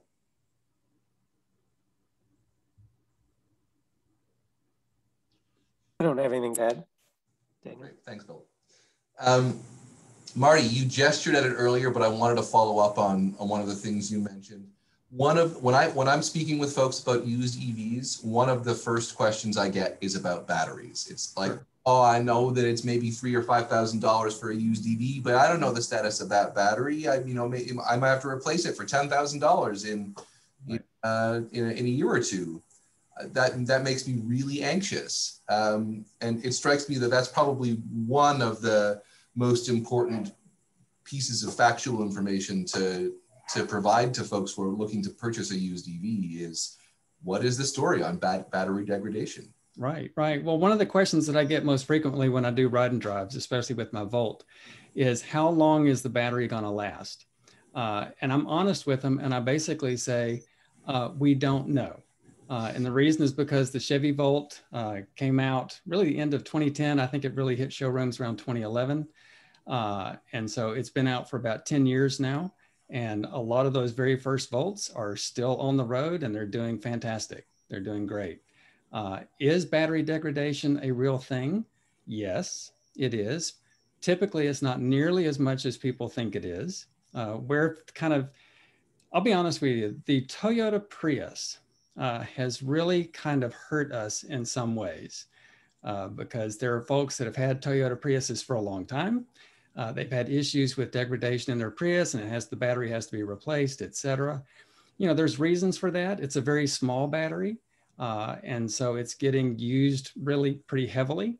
Uh, and also there's no thermal management on that battery. So it's, just, it's not typical for the type of batteries that we have in a lot of our larger EVs. Uh, same issue with some of the early Nissan Leafs. There was battery degradation on some of those early ones, especially in folks that were in really hot climates. Um, but you know, most early Nissan Leafs are still doing well. So you know, battery degradation is a thing, but it's not as big a thing as most people think it is. And what I tell people is, uh, you know, how much range do you need? So you know, find that out. You know, kind of see how many miles you drive in a day and record that every day for like a week so you can kind of get an average. You're like, you know what, on an average week, I'm driving 20 miles a day. Uh, and then what I say is, you know, when you're looking for a used EV, especially one that might be a second vehicle and it's just the around town vehicle, try and find one that can do at least double your daily average. Uh, and that will take care of your needs 99.9% of the time for your around town driving. Uh, and you know what? If an early model Nissan Leaf only has 55 miles range left, you know what? If your daily driving only requires 20, uh, that's still double what you need and you're in great shape. Thanks, Marty. Uh, it looks like Kent has his hand raised, uh, and then I'd love to open the floor uh, to to questions for our panelists today. Kent, I, I, think Linwood had his hand raised first. If we can, let's let Linwood speak. Sure, Linwood. Okay. Uh, hi. Um, I was wondering, will anybody talk about electric vehicle funding because I'm trying to figure out a way to secure funding to help inject electric vehicles into underserved communities. I would start off and just say that there are several things going on Linwood where we are trying to work more on, you know, both rural and, and underserved, low income, limited income communities in terms of different facets of projects. You know, I'm just making some notes from what folks are saying in terms of trying to get, as Becky was talking about a few minutes ago, this the importance of building these chapters across Tennessee and getting each of those chapters to spend some time focusing on doing ride and drives for for um, lower income communities. I don't know that that's going to end up in funding. Um, I did like Kent's idea. I don't know if it would have legs where if we somehow got the state to fund people to buy a used EV to try to help um, some of the low end market and expand some of the vehicles in that way. I would love to see that come to fruition. That's probably a discussion with a number of people. But um, so I don't know if there's any direct funding right now. I will ask one question of the group, and I believe, please correct me if I'm wrong, anyone, but the current tax credits that are set up are only for buying new vehicles. Is that correct or incorrect?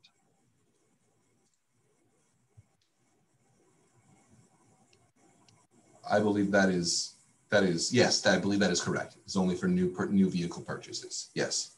I will agree that's correct. Okay. So so Linwood, there's there's not a lot um, out there right now in that terms of funding, but that doesn't mean that we can't get um, some of our working groups or the right group of people trying to figure out what systems, um, what ways might we be able to try to create some incentives like that. It could also be something that could be utility based. Uh, it could be community based. You know, Knoxville or Memphis could get together and try to find a foundation that would work on. You know, we get we get uh, $200,000 in a pocket and we'll offer $2,500 in local incentive to get limited income families that, that pass a certain uh, bar or, or have some kind of measurable way to, to confirm that that is um, the state that you would be able to get some funding. So there's different ways we could try to tackle this. I don't know of anything right now that is direct funding assistance. If anybody else does, please feel free to speak up. Okay, uh, thanks. Because one challenge that I have is that I'm a for profit, and if you're a nonprofit, it's obvious that you know it's quite a quite a few more opportunities. But for but for profits, uh, it seems like the best route is to try to uh, uh, partner with a nonprofit. So that's I'm open to doing that because I have a proposal already. And I just I'm just trying to find a nonprofit to partner with. Well, I mean, you can get in touch with us, Linwood, and we could try to talk with that more more with you. I mean, I don't, I don't know if you're Memphis, Knoxville, Clarksville, where you are in Tennessee, but we can have more of a follow up conversation with you and see how we can help. Okay, thanks. And uh, Kent, I'll, I'll return the, the floor to you. I think you had one more thing to contribute before we open the, fo- the floor further for questions. Yeah, yeah, just a little comment on uh, the battery degradation that Marty was talking about. Uh, I have a friend who replaced the battery in his 2011 Nissan Leaf, and uh, he was coming right near to the end of the guarantee. And actually, he got five days. He was five days late in get, getting the battery to degrade enough so that it, it, he would qualify for the for the um, uh, guarantee. But um, he went to the Nissan dealership and talked them into giving it to him anyway.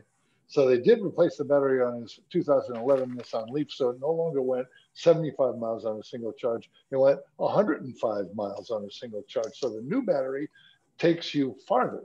Um, one idea I think would help low-income residents would be if there were a rebate for battery replacement on older EVs that would up the range even uh, above its original range when it was new. Thanks, Kent. Um, all right, with that, I will open the floor for questions. I know we had one question that was uh, that was uh, above, and uh, it was a question about state uh, and federal contracts for EV options. The question was, has there been any push to include EVs or more EV options on federal and state con contracts? Now, um, our panelists are free to answer this, but I think we also have some folks on the call who might be able to, to step in as well and answer that question. This is Jonathan. I would just quickly say that I know the Nissan Leaf is on the state bid list. Um, that's something that I would love to see the right group in Tennessee. I don't know if that's a working group, a part of DET or someone else to try to get some other vehicles on the state bid list to make it a little bit easier for, for, for those, at least municipalities that comes to mind first for me, um, make it easy for, easier for them to acquire EVs. Yeah, and Jonathan, I think that's going to be especially important as we get the electric pickup trucks coming out in the next couple years, because I know a lot of municipalities in their water department, electric departments use uh, you know pickup trucks, and so thinking of like the electric uh, F-150 Lightning, for example. Hi, this is Shauna Basquez from the Tennessee Department of Environment and Conservation. I just wanted to update folks that the state contract um, is managed by the Department of General Services Division of Vehicle and Asset Management. We've been in contact with them over the recent months to begin to add more um, electric vehicle offerings to the state contract. Um, as Jonathan said, there are a few that are currently listed, um, but we're working with them to hopefully be able to add more. Um, the, the Nissan Leaf and Chevy Volt, as Alexa just put in the chat, are already currently on it. Um, others that they think will be able to added relatively soon include the Volkswagen ID4 and the Ford F-150. It's easier for those to both be added because there's existing manufacturers that are already on the state contract. Um, but we're we're hopeful that they'll be able to continue to expand that offering as um, the months and years come by, um, because they are also interested in seeing state fleets improvements in uh, electrification space. Thanks, Sean. And I think, I mean, this is a, a, a great point that, that a few of us have made now that um, part of the, the approach to giving EV access to underserved communities is ensuring that the applications are there. The fact is that for, you know, some applications in more rural areas, for example, a small electric sedan is not going to be the solution that works for many people. We need more options. And then we've seen many of those options start to emerge on the market. But I think you're right. In the, in the coming years, we're going to see a far greater diversity of vehicle options for electric vehicles as well. And Daniel, if, if I may jump in, for the sake of time, we probably need to move to the next session, but I want to open up to folks to make sure you know that uh, with the Sustainable Transportation Forum and Expo this year, that's going to be in October, there's going to be kind of a pre-conference day that's going to be a full day of Drive Electric Tennessee and discussions. And so I'm almost certain we're going to figure out some other aspects of underserved communities, rural communities, and EVs, and have a panel and more discussion that day. So know that there's there's lots of work that needs to go on here, and you'll hear more about some specific pieces. But I believe it's October 19, 2021 and the 19th will be the pre-electric day. So we, we can add that to the list of things that Ainsley has in that, that Google sheet. Um, but with that, Daniel, if we can, let's move on to example projects and fleets. Yeah, absolutely. I just wanted to thank our panelists for, for joining us in this discussion. Travis, Kent, Marty, Becky, and Philip, thank you so much for your expertise and all the work that you do in Tennessee to, to work on the problem of serving underserved communities with electric vehicles and also the work that you do for electric vehicle adoption in general. We really appreciate it and we're so pleased to have you on our team. And also, I just want um, before we move forward, I know we are short on time, but I just wanted to um, to state that uh, Drive Electric Tennessee, East Tennessee Clean Fuels, as well as all their entities, we are very um, aware that as far as talking about underserved communities in the EV landscape, that there are there are a lot of uh, diverse voices that are missing from this conversation, especially on this call today. I want you all to know that we are aware of this and we are taking uh, taking uh, taking time, effort, uh, making strides to include more diverse voices, um, especially on several upcoming projects, to make sure that this is a, an issue that we address. As a lot of us on the call understand that we can't understand the experiences of others without bringing them in and including them on the conversations about electric vehicles. Ainsley, thank you. That's a that is a fantastic point, and and you're right. Uh, we will be unsuccessful in our efforts to bring electric vehicles to every every person and organization in Tennessee unless we are including the voices in the communities that we're trying to reach. Um, we need to make sure that we're doing that kind of diversification of our team and the recognition and representational work that's required to be successful as Drive Electric Tennessee. Thanks.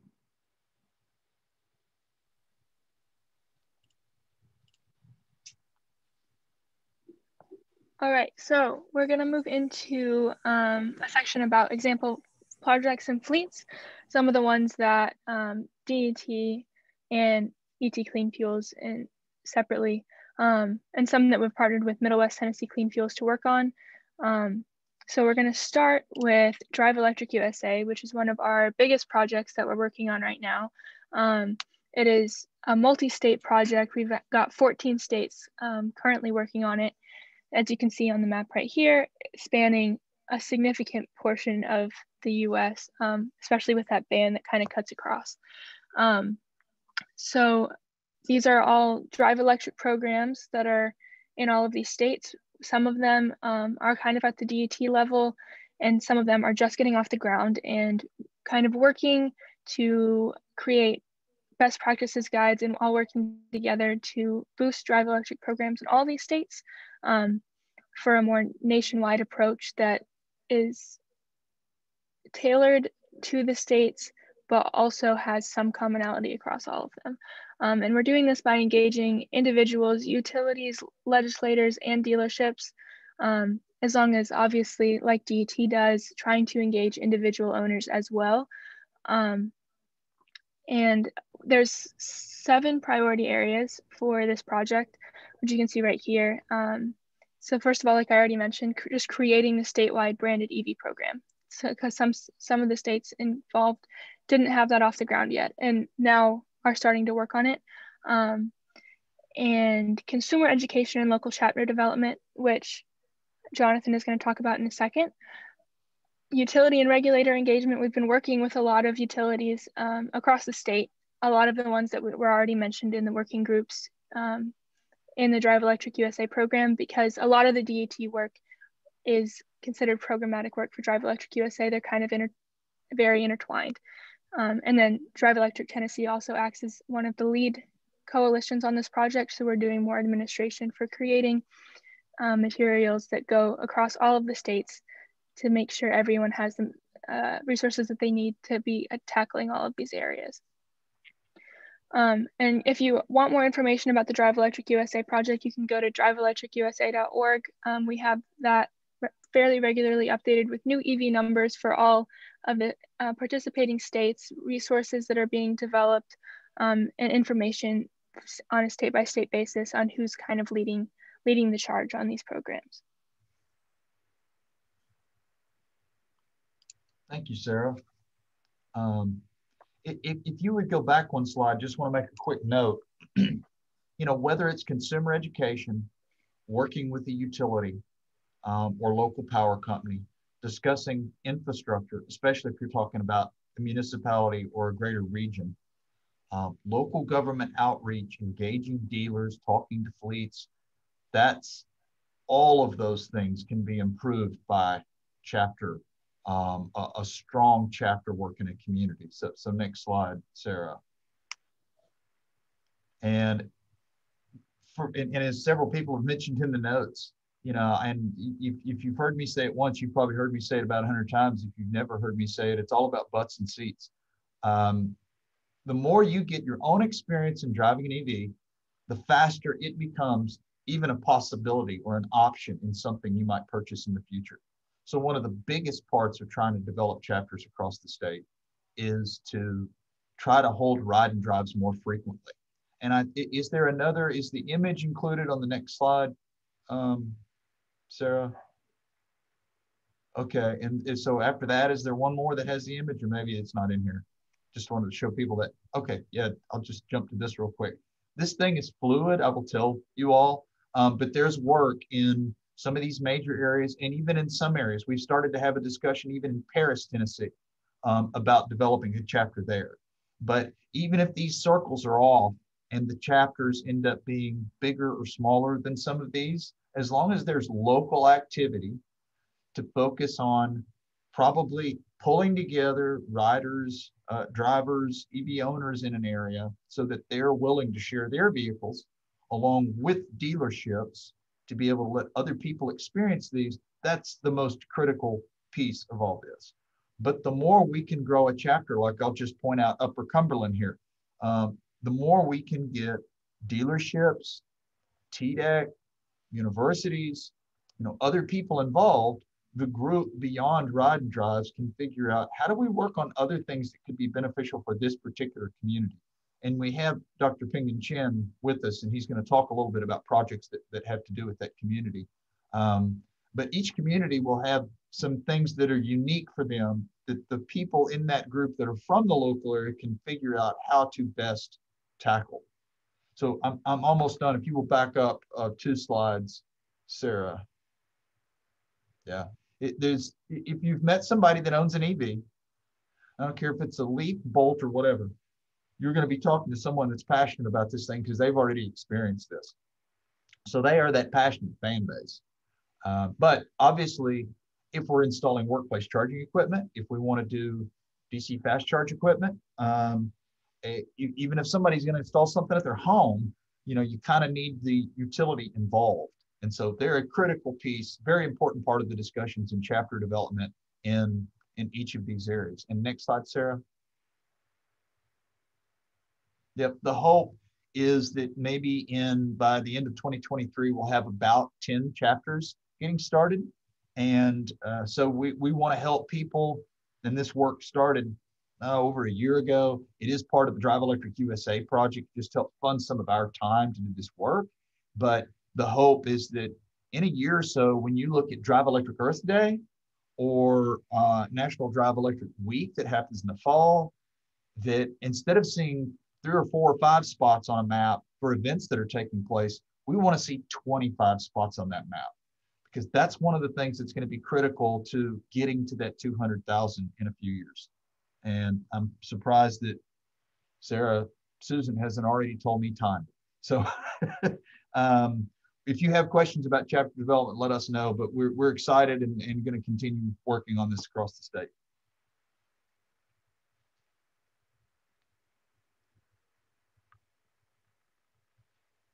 So Pingen, uh, if you're ready, I think it's your chance to talk about the EV testbed project.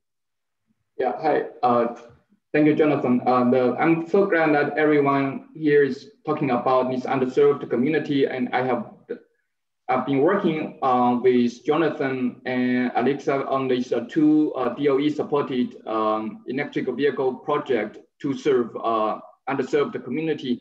The first uh, project you have you are seeing on the slide is about developing a, a rural electric vehicle test bed in this uh, Upper Cumberland um, region in Middle Tennessee. This is uh, uh, one of the most economically distressed regions in Tennessee.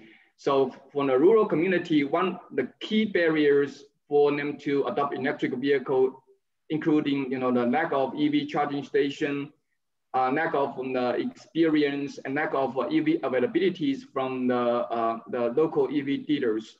And so lack of uh, facts about EVs and outdated um, perceptions about the electric vehicle. So what we are doing in this project is trying to create a, ecosystem uh, in these uh, rural middle Tennessee areas. And we're trying to um, create different um, uh, activities to help rural community um, increase their EV awareness, experience, and help them uh, get EV education from our activities. So we have been partnered with different uh, stakeholders like EV manufacturers, um, the, the universities, Clean City Coalitions, and uh, local power companies. And, and it has to be kind of an ecosystem approach to build a team to work on this. And our end goal is to make this a sustainable EV um, test bed, meaning after the project finished, there is uh, the, the, the, the no rural community in this region can take off, right? So we, we are using different methods in this project, including creating two weeks EV test drive program and, and create a broad EV education and outreach events like, like webinars, EV ride and drive, show and tell events, and uh, encourage education, things like that. Our goal is trying to make sure that our activities can reach to not only a bigger cities, but actually get into a very remote uh, rural counties so that uh, they can they can receive uh, this EV education. This is a task that is easy to say and done. And Jonathan and myself are currently working on planning doing this EV uh, ride and drive um, and show uh, show and tell events in this coming fall to to get more areas. And the next project we are talking about is taking a similar approach. We are uh, the main difference between from this uh, between this project and the previous project is this is about the commercial vehicle domain. And this is not about people, it's more about delivering the last mile delivery of goods in the regional and the city applications. And this is a project um, Tech is leading one team and partner with another team in Texas, trying to bring this um, medium duty electric vehicle to uh, the the fleet owners, not only big fleet owners like FedEx, UPS, but mostly we are targeting the small fleet owners, which is mostly the, have five or less um, vehicles, and they have very limited uh, funding resources to acquire very expensive medium duty electric vehicle. This project is aimed to remove this barrier to allow them to access expensive um, medium duty electric vehicle and operate the electric vehicle in their fleets. And then, and then understand the total cost of ownership. You understand the upfront cost is high, but through this uh, operation, a more cost-effective operation, you're able to see when you can get this uh, total cost of ownership um, uh, lower and lower as the time goes. So this is project we are preparing the project. It haven't started yet, but we hopefully this will start uh, soon. Um, so this is the two um, underserved community and we are working on.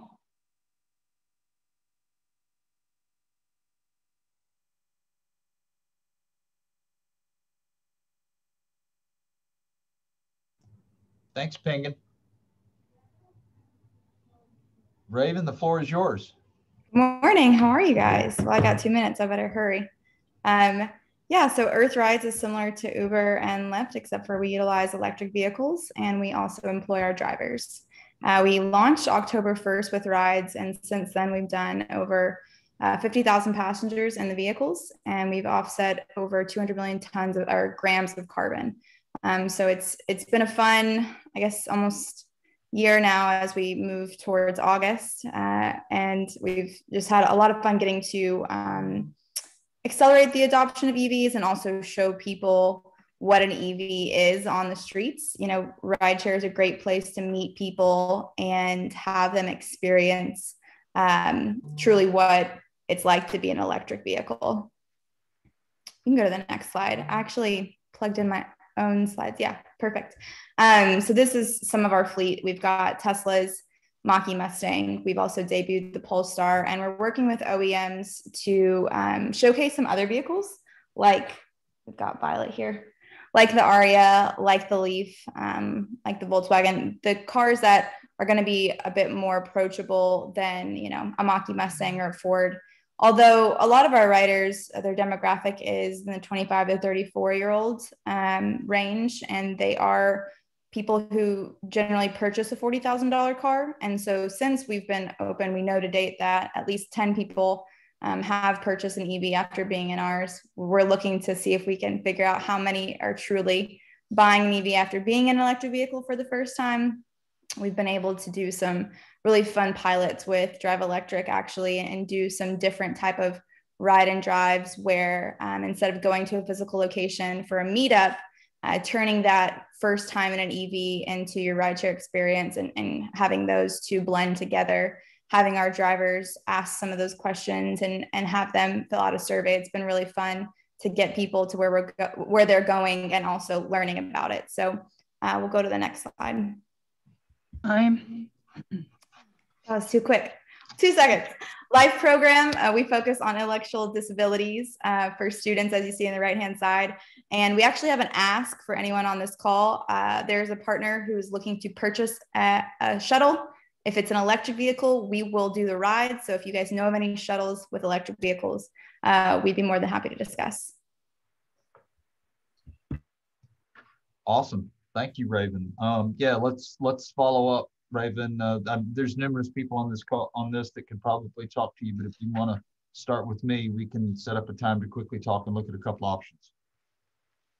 Uh, the next thing we want to talk about is the, the project that we're currently working on with the National Fire Protection Association. Uh, we worked with the NFPA a couple of years ago to do safety training with first responders across Tennessee. We had four sessions across the across the state to engage first responders on how to safely respond to emergency situations involving alt fuel uh, vehicles.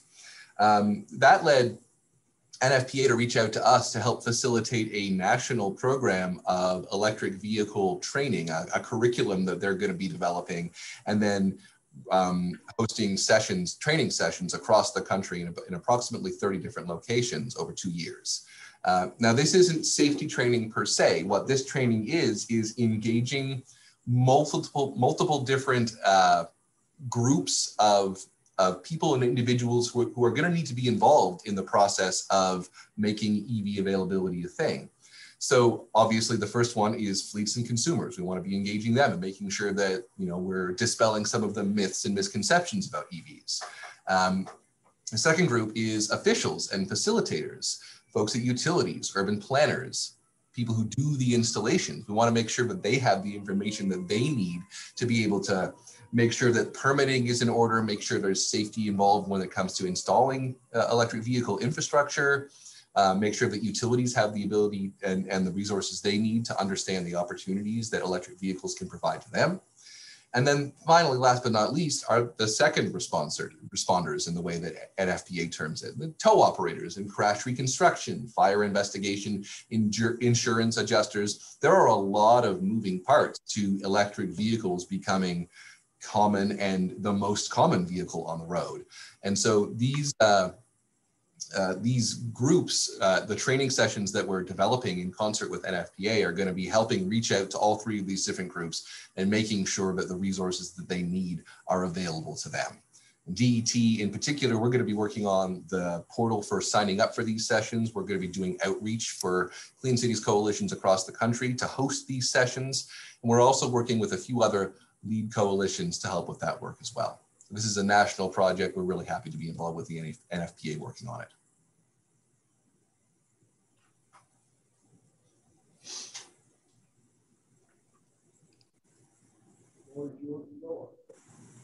I come next. Um, so CARTA has been working on optimization of deployment of electric vehicles. Uh, as fleets look to electrify, it's not a, a, mechanism that can be done immediately uh, due to either cost or availability. For example, buses are on electric buses are on a very long lead time. Um, so with funding from the Department of Energy, we've been looking at incorporating an, an energy map of our entire fleet system, including diesels, hybrids, and battery electrics, as well as our electric public bike share fleet, and looking at data from our prior electric vehicle car share operation. So looking at an optimization strategy using AI uh, on deployment so that if a fleet uh, does acquire a mix of ICE and electric vehicles, they can optimize that deployment strategy um, for energy efficiency uh, and other goals. Um, I would add, um, just from a research perspective, I mean, the health impacts, uh, I know Tony was on the call earlier, um, from the Lung Association, um, air quality improvements, as well as noise and overall economics of EV deployment is critical to our underserved communities as, as we move these projects forward. Thanks.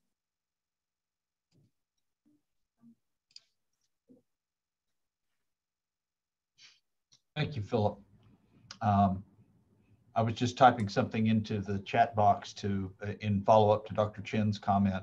Just if you live in the Upper Cumberland or you know anybody that lives in the Upper Cumberland, they can basically sign up, and as long as you meet the requirements, can borrow a Nissan Leaf for two weeks. So we have some, you know, great programs going on in certain areas of Tennessee uh, that we need to replicate elsewhere. So um, I, I, will apologize to Becky and to the rest of you. We could not get John Lancaster from uh, Memphis Area Transit Authority on the on the phone. They are ramping up um, EV bus program. Uh, WeGo in Nashville has some. You heard a little bit from Philip earlier about CARTA. Okay, so now Knoxville Area Transit. Um, Cy McMurray is the used to be the fleet maintenance manager. Now he's the procurement manager, but he's been involved with their process over the last few years. And basically, what they did is they, um, from a lot of their homework and testing, they ended up with a contract with New Flyer for up to 25 electric buses. If you do not know, New Flyer is a Canadian company, but their most southern manufacturing facility is in Anniston, Alabama. It's really uh, not too far down into the state. And every once in a while, they will do tours of their plant, New Flyer, where they build a diesel, a hydrogen, an electric, and a natural gas bus all on the same line. It's a really neat tour. I was able to go on that like a year and a half ago. Um, but they have selected New Flyer. Out of those 25, they have received uh, one so far, and two more are uh, being built. So they ordered 12, but the first three are just what they're working on to start. they are starting to build out the infrastructure. You can see both a new transformer in that photo on the right, as well as the individual charging units and the smaller things that are sitting out next to the bollards are the basically just the cord handling systems to be able to charge the buses. But they were also awarded several other contracts, um, awards for funds, but they aren't under contract yet. That includes one to add six more buses to the total that they can buy and get some depot charging infrastructure at the transit center uh, in Knoxville. If you don't know Knoxville very well, they have a transit center that's about 10 years old, that's relatively new, closer to downtown Knoxville. And then their main offices that are a little east of there, um, which is where this depot charging is.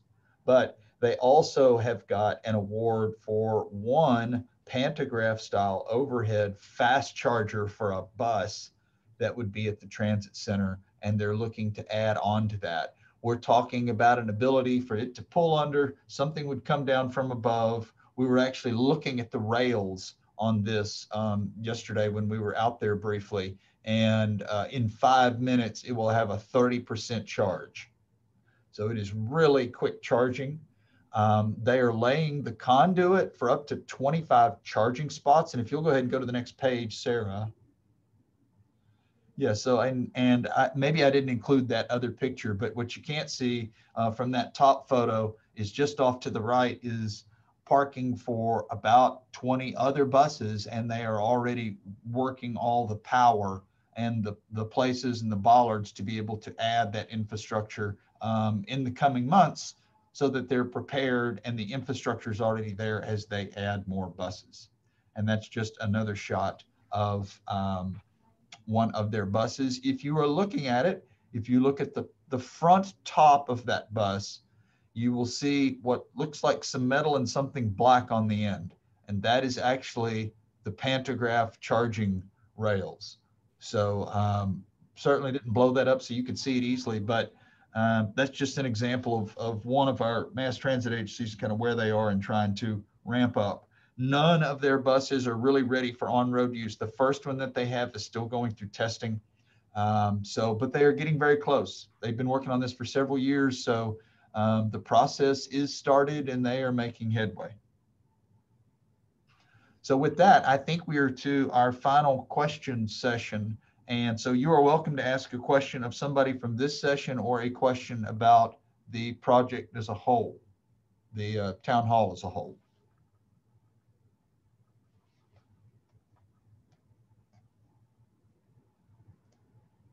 While we see if anybody have questions, I will say Ainsley, I just wrote down that I noted early on, Travis mentioned their new video series that's out. So we need to add a link to that if we can. Um, Alexa put in the comments for those that did not see this new Rivian relationship and, and EV chargers that are going to go at state parks. That was big news. So we need to put a link to that if we can. You can find all of this on the DET website under the news section. Gotcha. Okay. All right. Uh, last chance to ask questions. Otherwise, we very much appreciate your all's time today. We look forward to doing this um, at least once a year, but um, also looking forward to some of our other meeting opportunities coming up later this year in Tennessee.